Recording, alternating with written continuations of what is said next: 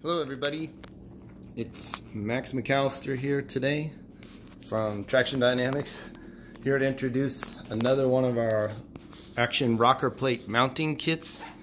This time the much anticipated uh, CycleOps and Saris hammer models.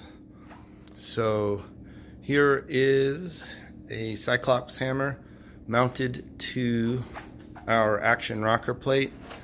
Uh, no need to sell you on the function of the plate. You guys have all seen how just whisper easy it is to make the rocker move. Takes no effort, completely natural.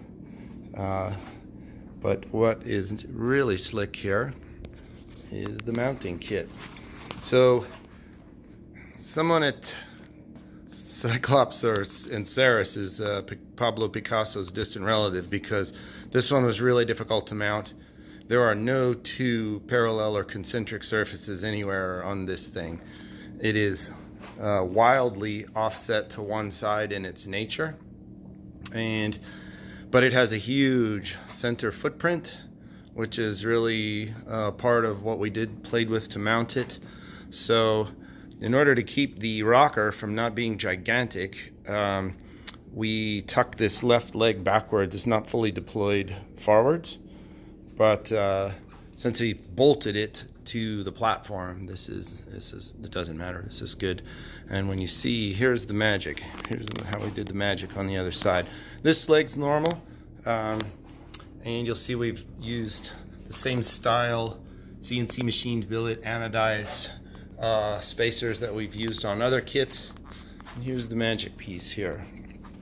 Hidden underneath the uh, hammer is, a, again, a CNC machined aircraft aluminum uh, bracket that we've made. You'll remove a couple of bolts from the base frame of the hammer and we've got a couple spacers behind there. You lay our adapter plate over it. We supply longer hardware and then Hardware bolts up through the bottom of the deck to hold the entire main frame of the hammer there. We've just, you actually don't even need the legs deployed, it's so solid, but we've deployed the legs and bolted them just for, in case there's high wattage riders or people that like to really do a lot of standing climbing or sprinting, it just gives it, you know, bomb-proof uh, stability. So, you know, seen from the front, there's kind of the view of everything. And I'll walk around one more time and show you the view from the rear. So, there you have it. The new um, CycleOps and Saris hammer mounting kits, mounting kit for the uh, Action Rocker plate.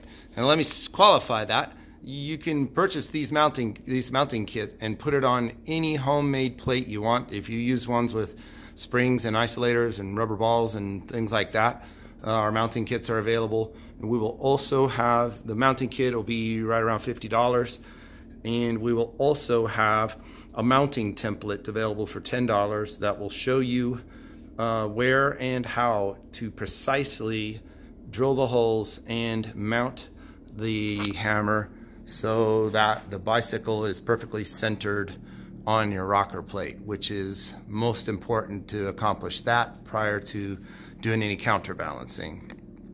All right, so I'm Max. Thanks for checking in today. If you like these videos, please give them a thumbs up. Don't forget to subscribe to my channel on the button below. And uh, I'll be back with more cool new products and cool content coming real soon related to indoor rock cycling and rocking on a rocker plate. Thanks.